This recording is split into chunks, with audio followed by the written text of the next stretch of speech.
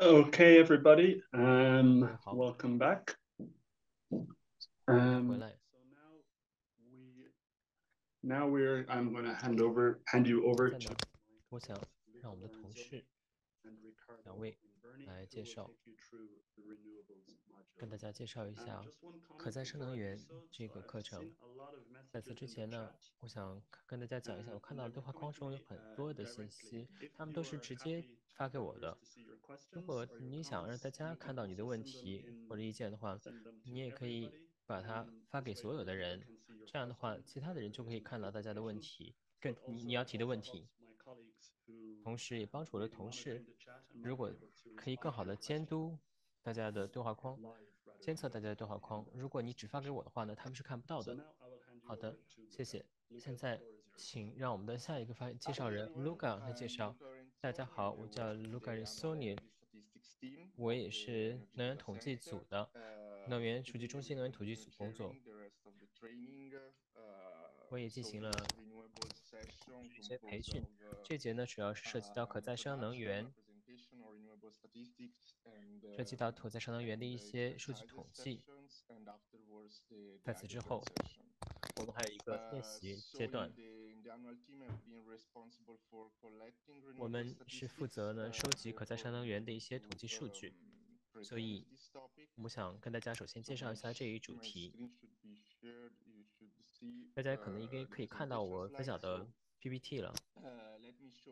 首先想跟大家做一下简单的介绍，我们介绍分以下部分：三个不同的部分。第一部分呢，我将要跟大家介绍关键可再生能源的趋势在全球的情况，然后呢是关键统计方面的概念。包括可再生能源的关于分类分类等等。最后呢，再生能源数据报告。首先，我想给大家提一个问题，大家可以在 Mentee 上回答这个问题，就是你认为哪一个可再生能源是在整个能源供应中占比最大的？我们看一下 Mentee 和大家的回答。大家可 uh, 以用 www.menti.com 3w.menti.com，and enter the code 然后呢输入它的密码三七五一八零八七，三七五一八零八七，这是它的密码。然后呢，这样的话，大家进入之后就可以回答了。这是一个单选题，哪个可再生能源在全球能源供应中占比最大？我想让大家看一下具体的一些这个题的一些术语，全球总的能源供给，这意味着什么呢？总的能源供给是什么意思？这就意味着呢，不同形式的能源。我看到大家已经有些人做出了回答，好像水力能源是获得票数最多的，有十六票投给了水力。之后呢，固体生物能源也在迎头赶上，十三个人回答，十四个人回答。再给大家几秒钟。在对话框里面呢，有人问他的 Menti 的密码，我把密码打在对话框里面，大家看一下，三七五一八零八七，三七五一八零八七。好的。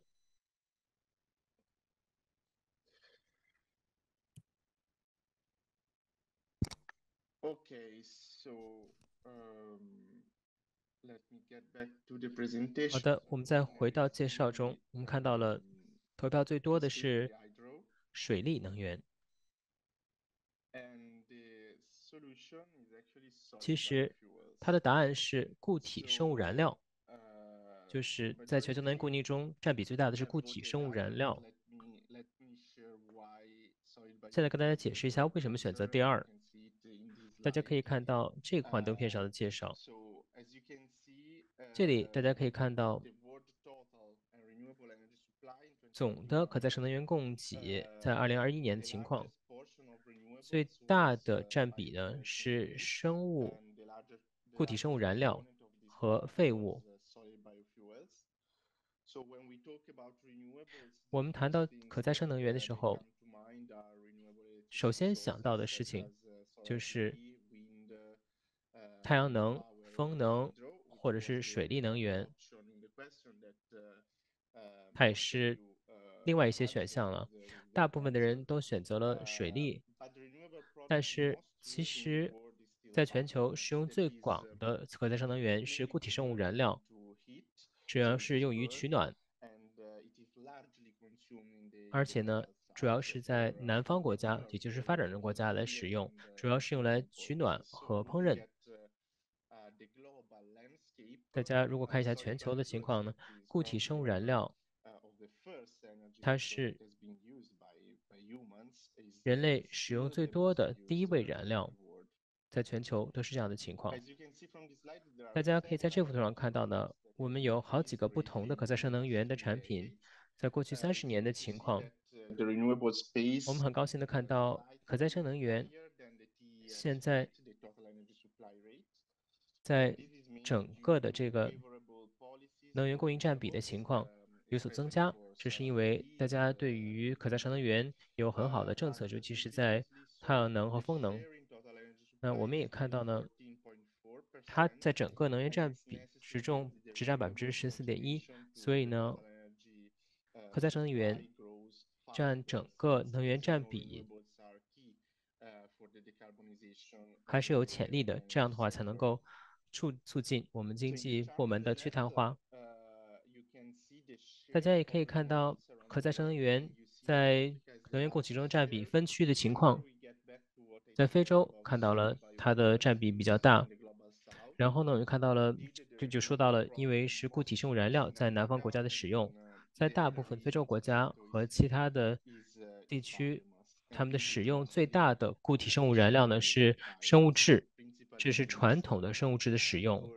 也就是说呢，要去烧这样的能源，有时候大部分情况下呢，它的能源燃烧的使用的效率不是很高，而且呢会造成一些污染。而在经合组织国家，生物质用的比较少。而且是用现代的方式来做的，比如说用用它来发电。在星河国家，我们也看在，在过去几年，它可再生能源固体生物燃料的使用呢，主要是用来发电。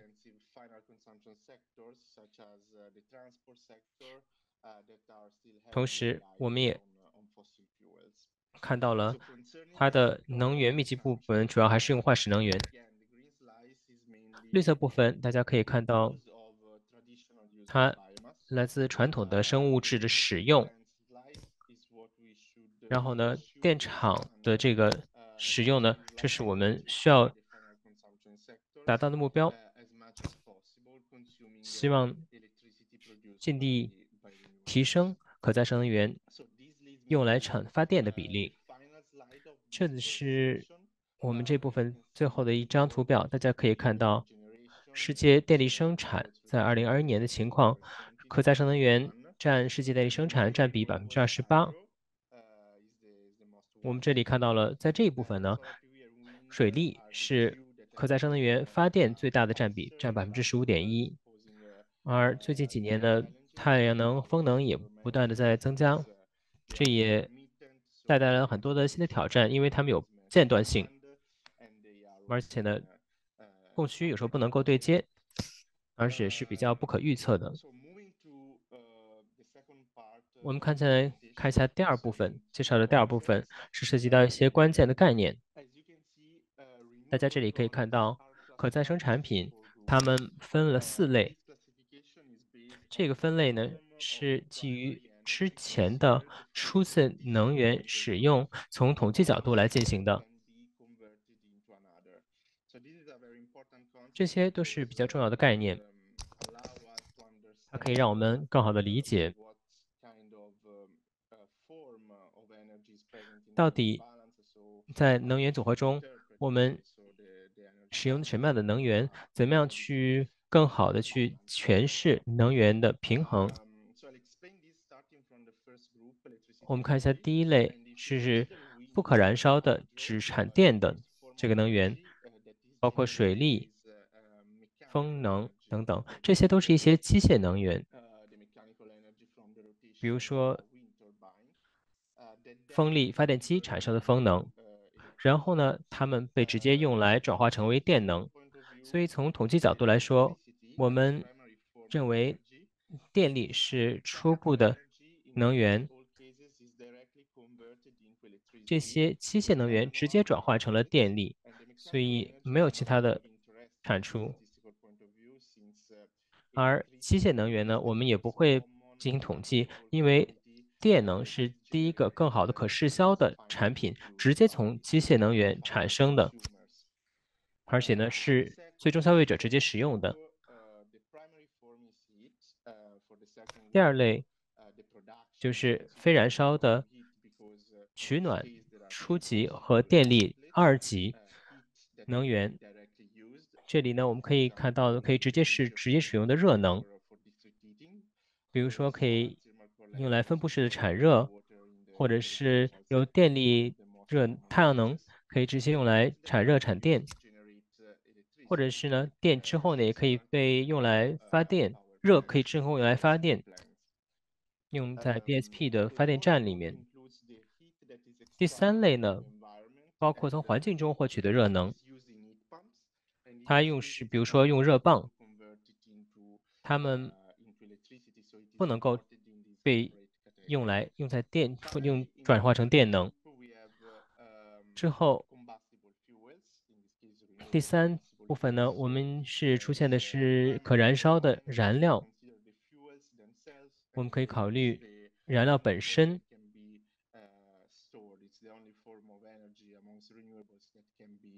它包括固体燃料或者是废料等等。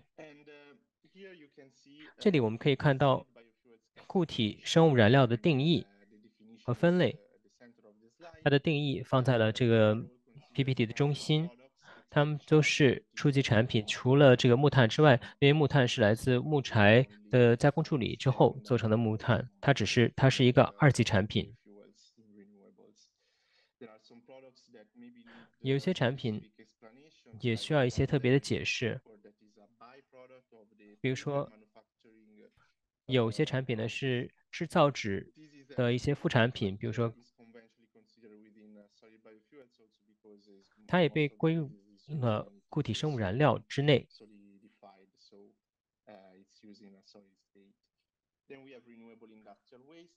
然后呢，还有一些工业废料。被视为了固体生物燃料，最主好的一个例子就是已经用完的一些废用废物的轮胎，它作为橡胶来使用。另外一个例子是木材怎么样在能源统计中再被统计进去。我现在呢在用 manti 跟大家提这个问题。密码还是一样的，三七五一八零八七。如何用木材？木材是如何使用在能源统计之中的？这是个多选题。对不起，不是多选题。主持人纠正自己，它是个单选题。木材怎么被使用在能源统计之中？好像大家都有一定的共识了。它是被用来燃烧取暖，其他的大家都没有选，其他的选项大都大家都没有选，用来燃烧取暖，所以呢是用它做这样的能够作为能源统计，这是一个正确的选择。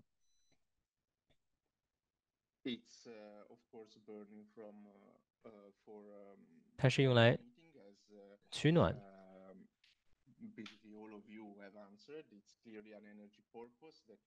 当然，这是能源目的的。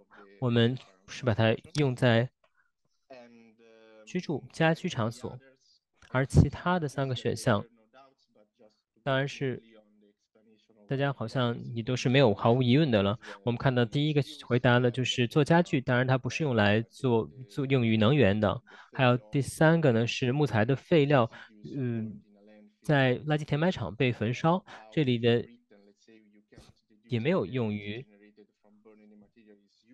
这个能源目的。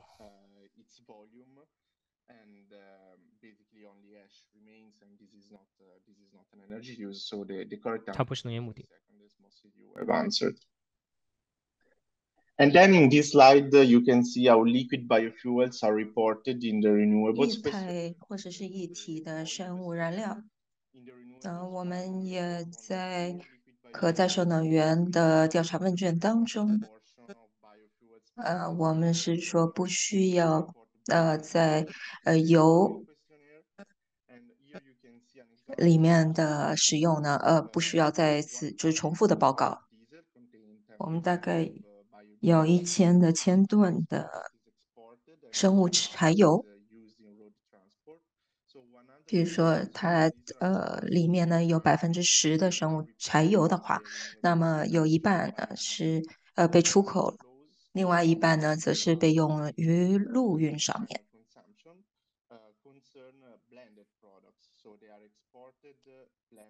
而且呢，这一百千瓦，呃，一百千吨的这个呃生物柴油，它应该是属于可再生能源问卷的一部分。此外，它的出口应该，则是应该被报呃报告在油出口的油的这个调查卷里面，作为混合产品的一部分来报告。那么最后它的消耗呢？它在比如说呃陆运方面的呃消耗能耗，应该在油的这个调查能源里面呃调查问卷里面报告。有一些国家把这个生物燃料呢报告在可再生能源里面。那么最近。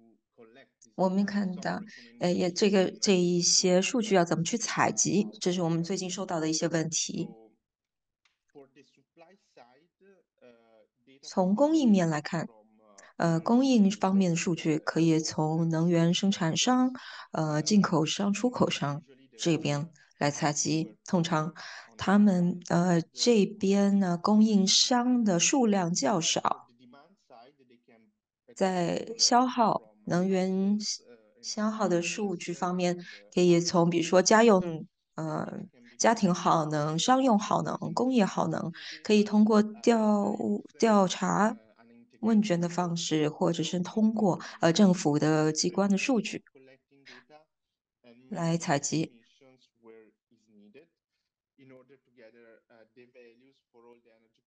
这方面可能要从多方面去着手采集数据，加以综合。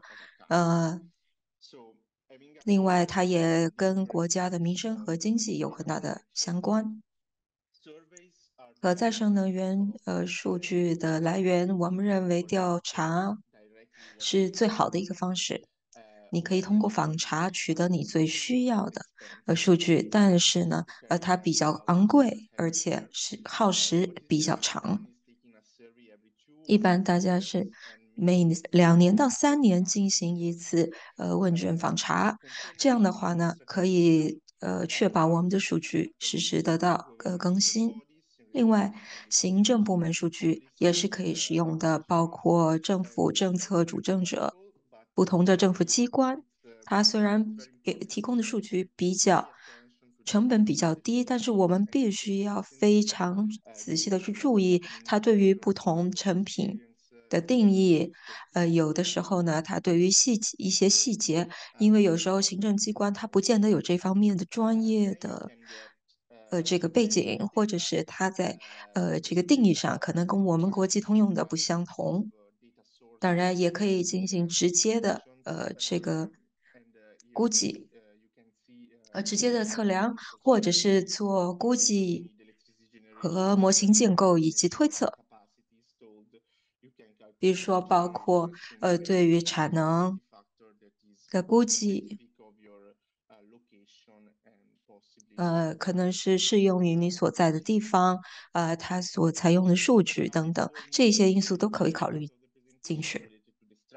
那么最后，呃，我想给大家看一下我们所设计的一些调查，呃，它的结构，它应该要含有哪一些内容？这是我们能源署所做的，呃，以几者不同的调查，我在这里提供给大家，让供大家参考。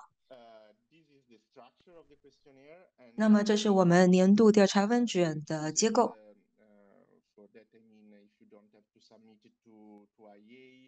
我希望大家能够呃呃提交给国际能源署，呃不仅仅是对于我们的储蓄采集有意义，我相信它也能够让各位呃对自身的呃这些数据有更全面的了解，而且这有不同的呃，比如说自动化的结果数据结果检查，或者是自动加总的这个数据机制，这些大家都是可以使用的。我希望这给大家一些工具，呃，更有效的去进行数据采集和分析。就算大家最后不把这个呃调查问卷提交给呃经合组织，我希望大家也能够善用这一些工具。嗯，这是总电和热生产呃的一个报表。那么这和这个电力报表呢是呃类似的。它有大概差不多的格式。之前呢，虽然我们对于呃可再生能源呢，我们希望呃能够有更细节、更详细的呃数据收集。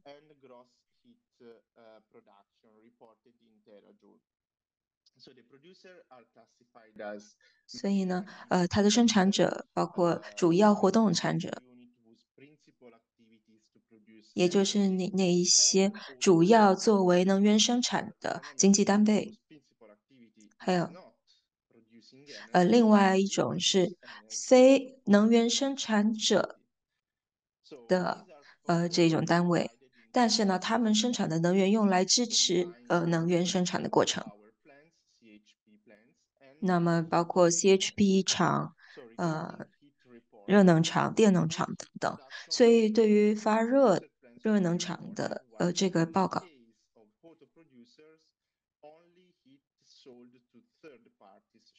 只有在呃向第三方出售热能的呃这个情况下呢，才需要呃报告。在二 A 的这个报表，这是我们。当中呢，包含了十三项不同的能源产品，是最大的表格，有六十种不同的呃能源流向。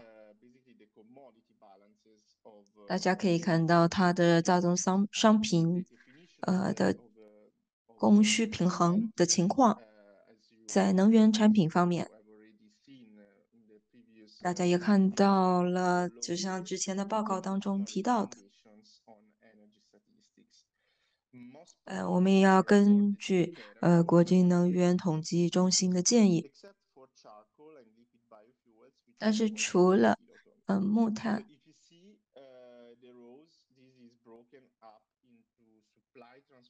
它用的单位是不一样的。大家可以看到，我们把呃主要的不同的行业，包括运输行业、呃耗能行业、非产能行业等等分开来计算。最后，我们也包括，比如说住宅用，呃，能呃农业用。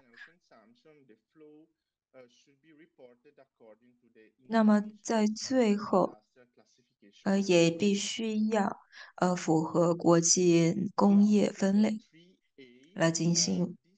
大家可以看到三一，这有五个部分，这个表，它有非常重要的一些信息。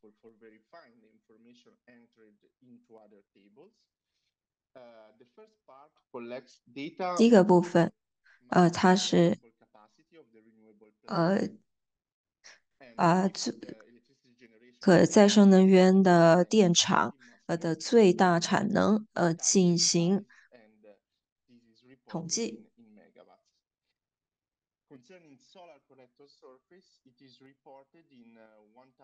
比如说能产，它是通过以每千呃平方米呃来计算，但是呢，它不包括呃太阳热能采集器，它只。在我们也看到，呃，液体生态，呃，生物燃料每年的数据。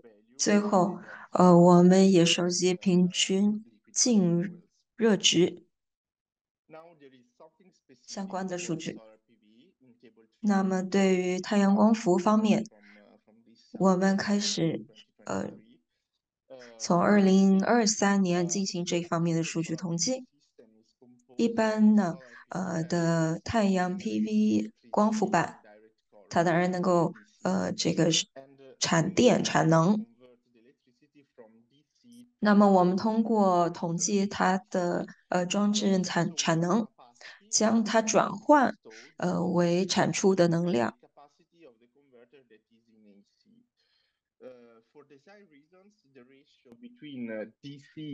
那么这当中的转换率从 DC 到 AC，也就是从装置产能到呃实际产出的呃这个产能是一点五。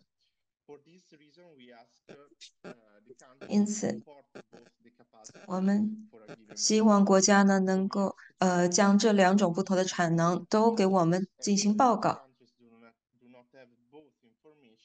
那么，如果你没有这两种数据，那么可不可以跟我们呃明确的指出你报告的这个产能是呃是 DC 还是是 AC？这是非常重要的。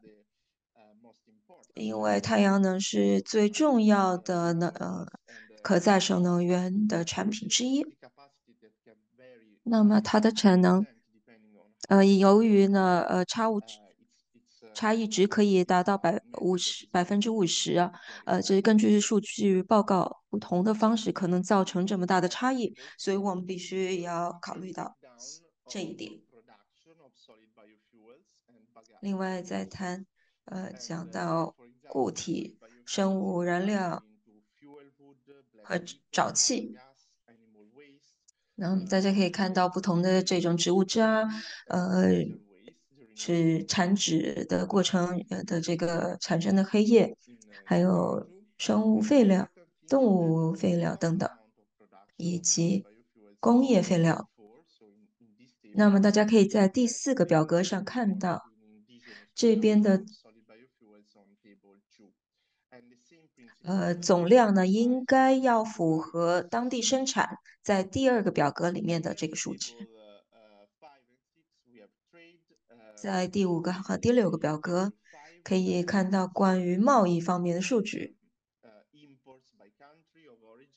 呃，每一个国家呃的进出口量，我们所使用。呃呃，我们是包括以液体的生物燃料，这是贸易量最大的呃这个类类型。但是在未来，呃，也许呢这会改变。第七个表格是呃我们收集关于非能源使用可再生来源的数据。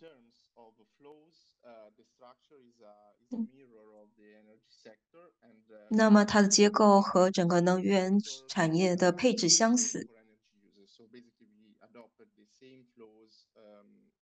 比如说，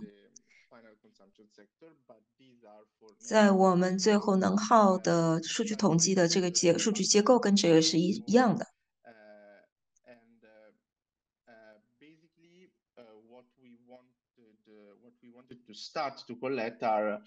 我们希望开始收集，呃，和可再生能源相关的数据，呃，它如何去替代，呃，目前的，呃，生物燃料，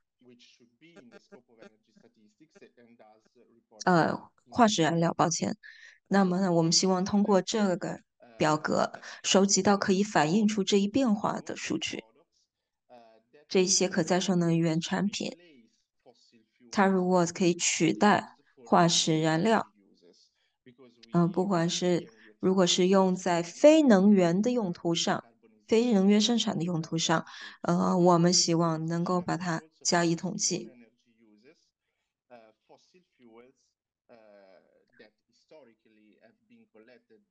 化石燃料呢，在过去是，呃，它已经有既定的数据统计，但是，呃，过去，呃，我们希望看通过这些新的数据统统计，可以反映出，呃，可再生能源它去取代这一些化化石燃料呃使用的情况。特别是在石化行业，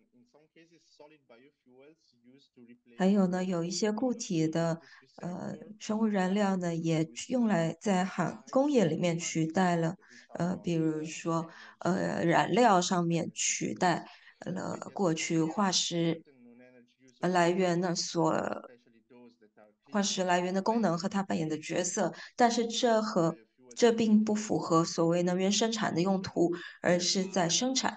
呃方面呢，成为了它的替代用料。